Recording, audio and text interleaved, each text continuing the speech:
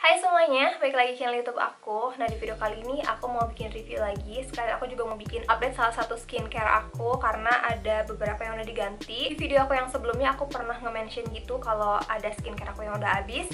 Dan itu adalah eye cream. Aku pernah bikin video tentang eye cream atau eye serum Yang emang bener-bener bagus banget Dan itu jadi favorit aku. Dan karena itu udah lama banget ya Aku udah habisin eye serum itu sampai 2 botol Dan aku pengen ganti. Kemarin juga sempat galau gitu mau ganti ke yang mana. Akhirnya aku memutuskan untuk uh, membeli eye cream ini ya seperti yang ada di judulnya yaitu dari Langsre yang Bana Berry Brightening Eye Cream yang kayak gini jadi biasanya sebelum aku beli suatu produk itu aku selalu uh, kayak cari reviewnya dulu karena aku pengen mastiin kalau aku beli produk yang emang tepat sama kondisi kulit atau kebutuhan kulit aku. Buat teman-teman yang belum tahu Langsre, jadi Langsre ini tuh dia brand asal Korea tapi dia udah terregistrasi BPOM dan uh, ini tuh ada official store-nya di Shopee cuma kalau untuk offline official store-nya aku nggak tahu dia ada atau enggak karena aku juga baru tahu Langsre ini tuh pas kemarin aku lagi cari-cari eye cream dan katanya eye creamnya Langsre ini tuh bagus banget. Dan untuk klaimnya sendiri jadi si Langsre ini tuh dia anti wrinkle dan juga brightening. Jadi dia mengandung arbutin, niacinamide sama glutathione yang bisa mencerahkan secara optimal. Terus dia juga mengandung banana dan juga acai berry dan ada blueberry-nya juga di mana di situ banyak banget antioksidan yang bisa mencegah kerutan. Dan karena klaim dan juga ingredientsnya yang emang bagus-bagus banget itu yang bikin aku akhirnya milih si Langsre ini. Selain itu juga karena konsistensinya itu krim dan uh, agak sedikit tebal makanya mungkin dia jadi melembabkannya uh, dua kali daripada yang sebelumnya aku pakai. Karena dia bentukannya kayak gel gitu kan. Terus buat teman-teman yang punya kulit sensitif uh, kalian bisa cobain ini karena dia suitable for all skin type. Yang sensitif juga kalian bisa pakai. Nah jadi si Bana Berry Brightening Eye Creamnya Langsar ini tuh dia bentuknya krim terus ada sedikit warna kuning. Dan meskipun konsistensinya itu krim tapi dia gampang banget di blend jadi setelah si krimnya nyentuh ke kulit itu kayak langsung meleleh dan langsung ngebaur gitu dan langsung gampang banget untuk di blendnya sambil di blend sambil sambil dipijit atau dimasas ini pelan-pelan aja. Dan biasanya juga aku kayak tarik ke belakang terus di keatasin gitu. Terus aku kayak pijit-pijit itu selain uh, supaya si produknya cepat ngeresep dia juga bisa sebagai relaksasi di daerah sekitaran mata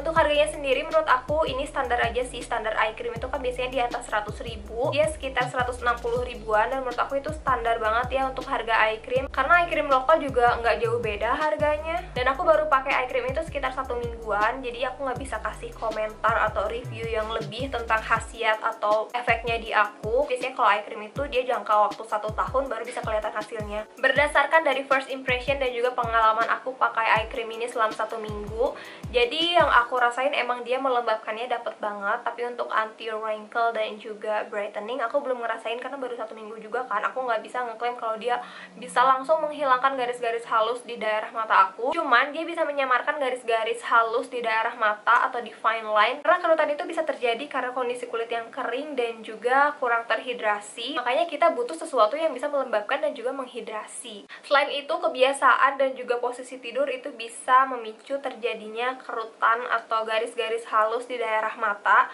karena aku sendiri kalau misalkan tidur posisinya selalu miring ke kanan atau enggak ke kiri. Jadinya kalau misalkan aku tidur si pipi aku tuh kayak naik ke atas kayak gini dan akhirnya di sini ada garis-garis halus kan. Nah ini kalau misalkan dibiarin sampai pagi terus aku nggak pakai eye cream dia tuh bakal langsung ada garis dan itu agak lumayan susah untuk hilangnya.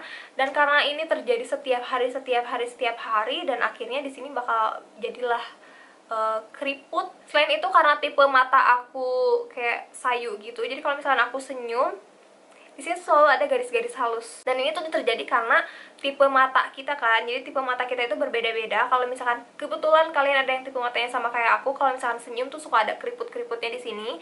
Dan kalau misalkan kalian nggak ngekrit uh, daerah sini secara baik itu pasti kalian bakal cepet banget keriputan. Makanya kenapa eye cream itu penting banget buat aku karena ya aku kalau misalkan tidur selalu miring selalu kayak gini. Dan kalau misalkan senyum aku selalu hmm, lihat. Banyak banget keriputnya. Dan buat teman-teman yang mau beli eye creamnya Langsre aku nanti bakal cantumin linknya di description box. Aku juga bakal kasih link produk eye cream yang sebelumnya aku pakai. Dan juga opsi-opsi eye cream lain yang kemarin aku sempat cari review-reviewnya. Dan kalian tinggal pilih aja mana yang dibutuhkan sama kondisi kulit kalian saat ini Oke, kayaknya segitu dulu aja video dari aku. Jangan lupa klik like, komen, dan subscribe. Abis itu nyalain juga notification bellnya supaya nanti nggak ketinggalan video-video baru aku. Dan sampai ketemu di video aku selanjutnya. Bye!